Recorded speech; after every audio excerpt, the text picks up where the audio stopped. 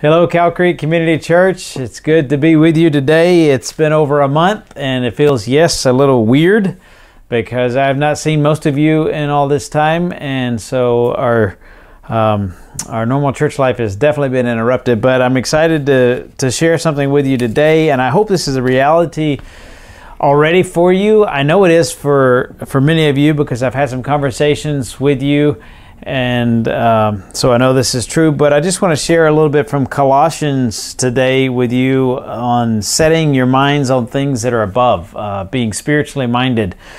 And in order to start that, I just wanted to read from Romans 13, verse 14, with a very similar thought. Uh, Paul says this, but put on the Lord Jesus Christ and make no provision for the flesh to gratify its desires. So you see there an active role that we have in putting on Christ, and the opposite of that would be making provision for the flesh and fulfilling the desires that are in the flesh. And so, uh, what I really want to emphasize, though, in regard to this is the aspect of setting our minds on Christ. Paul, in the book of Colossians, which is about the preeminence of Christ, absolutely uh, just a wonderful book on the richness of who Christ is, who we are in Christ, what he has for us, and uh, the joy of the new life we have in Christ among each other as a local body. And so, Paul. Um, is uh, writing to a church that he has not personally visited, but he has uh, lots of information about this church from a man named Epaphras, and so he gives this great theological statement about Jesus Christ himself, portraying the preeminence of Christ in Colossians chapter 1. And then at the end of chapter 1, he talks about how that he and his ministry team uh, struggle with all the might that God himself gives them to present everyone mature in Christ. They do this by the proclamation of Christ continually.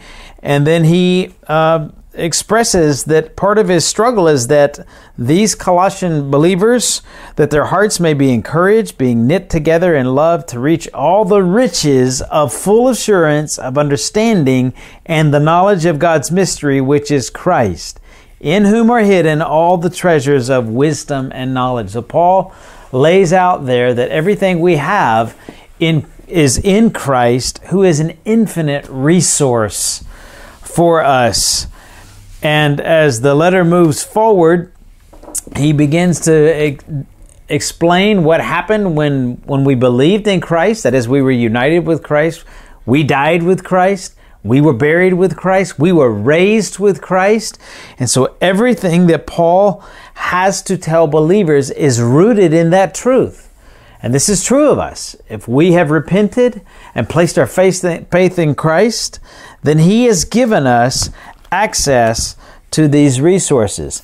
And so, in light of that, in Colossians 3, verse 1, he says this If then you have been raised with Christ, again, our union with Him, seek the things that are above, where Christ is, seated at the right hand of God. Verse 2, he says it very similar set your minds on things that are above, not on things that are on earth. For you have died, and your life is hidden with Christ in God. When Christ, who is your life, appears, then you also will appear with him in glory. But what I want to emphasize here is just that the two ways he says this seek the things that are above, where Christ is, seated at the right hand of God. Set your minds on things that are above. Beloved, we have during this time period an outstanding opportunity to carry this out. None of us had, could have anticipated that we were going to go into this. And certainly none of us could have anticipated all the implications of it and we obviously don't know when it's going to end. But there could be a temptation during this time period to set our minds on things of the earth. We're not around each other. You're not hearing as much teaching from your, your leaders. We're not in home fellowship groups together. Um, we're not asking each other questions as we normally would be when we're interacting. We're not praying for each other in person over needs. So there could be a temptation to begin to drift and to be setting our thinking on things that are on the earth. Like Pastor Jeremy has already talked to us about several times, we could be tempted to watch a lot of Netflix, to just uh, kind of mindlessly try to get the, the time to go by without uh, being too bored. But in reality, we've been given a gift because I do believe that um, Satan can use our busy lives as a distraction from this very truth, setting our minds on things that are above, seeking the things that are above. Even if it's if even if we're involved in busy ministry, Satan knows how to use our busyness to distract us from this main pursuit. And what's really neat about this is Paul doesn't just say, set your mind on things that are above. He says, where Christ is, and we are with him. Spiritually, we are with Christ. And he roots that in the fact that, number one, if you have been raised with Christ, and then in verse 3, he says, you died with Christ. So our old identity has already been buried. It, it, it, died with Christ, was buried with Him, and we have this new identity that He appeals to in verse 10 of chapter 3 that we put on the new self, which is being renewed in knowledge after the image of its Creator.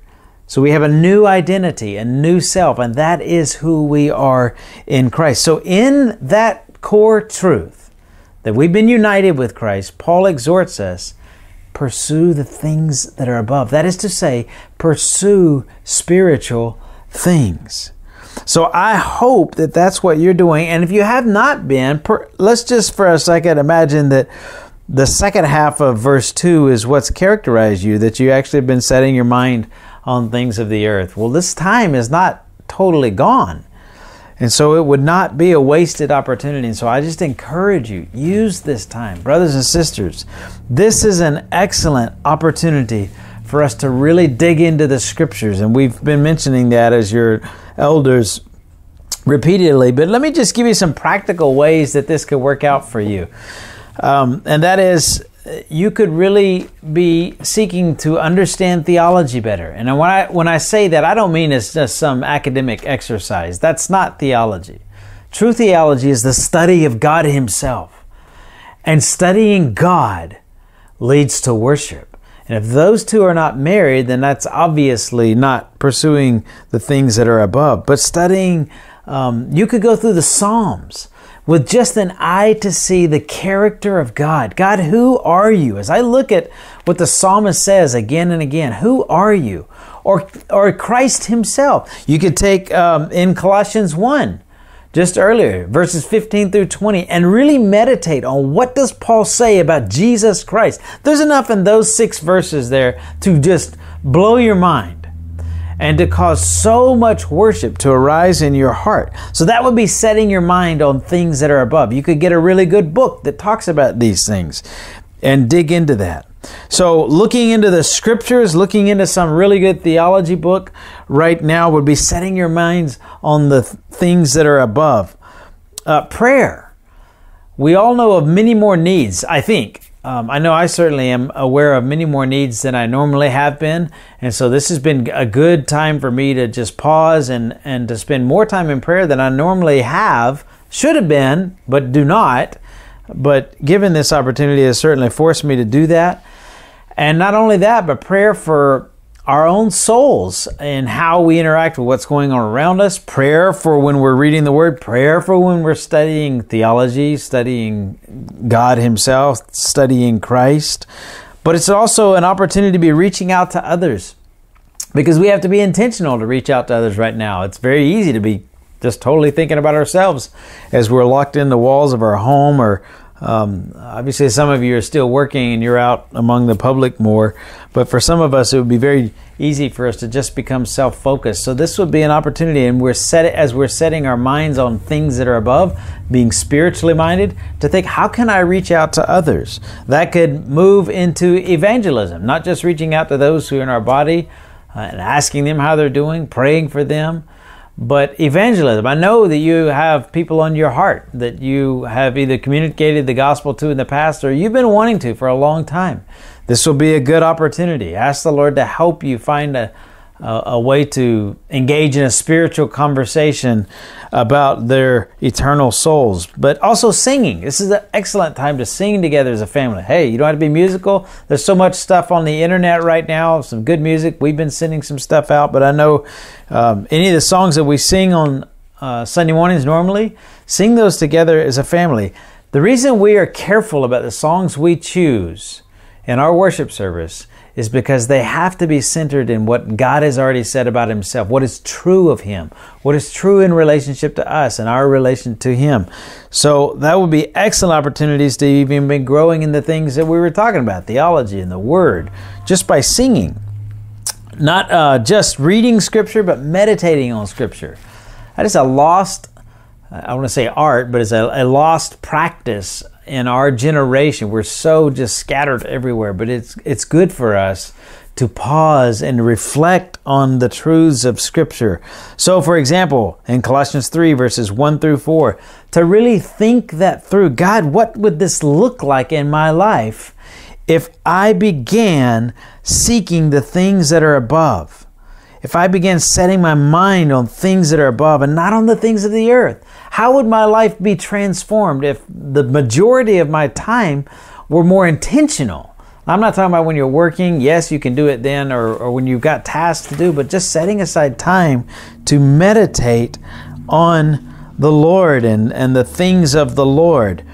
But also practically working through personal holiness, letting this be an opportunity to address some uh, nagging sin in your life. We all have them, areas of weakness or areas that we've let slide.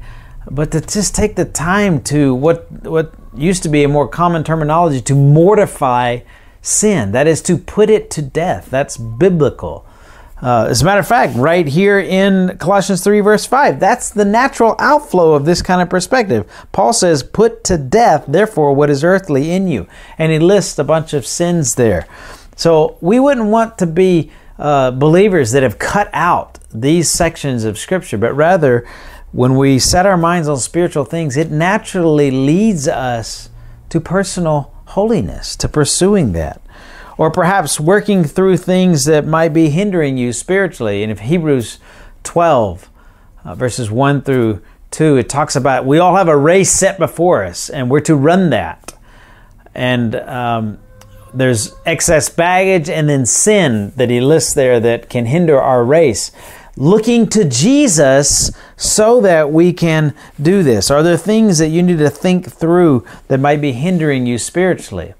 So if if during this time you found yourself much weaker spiritually, that might be a clue that maybe I've got some things in my life that need to go so that I will have more concentrated emphasis on the things that are above. And so that's not a uh, negative comment to you. It'd just be a, a checkpoint for you to look into your life. I've had to do this with my own life, and so it's not uncommon for us to have to do this. But as we as we think about setting our things on the mind on the things that are above, uh, set our minds on things above, what would that look like? Well, I believe it will look like exactly what Paul commends this church in Colossae that he'd never visited but learned about from Epaphras. And he said this in Colossians 1, verses 9 and following. He said, And so from the day we heard, we have not ceased to pray for you, asking that you may be filled with the knowledge of His will in all spiritual wisdom and understanding. Yes, that's what we're looking for. So as to walk in a manner worthy of the Lord. This is what happens when we set our minds on things above. We begin to walk in a, a manner that's more consistent with the gospel, fully pleasing to Him bearing fruit in every good work and increasing in the knowledge of God. May you be strengthened with all power according to his glorious might for all endurance and patience with joy, giving thanks to the Father who has qualified you to share in the inheritance of the saints in light. So when we look at that at the, what was at the beginning of the letter uh, to Colossae, but that's actually also the result of setting our minds on things above, where Christ is seated at the right hand of God, is that we grow in those qualities. So I pray that this will be an encouragement for you, regardless of how it's been going up until now, or uh, or not.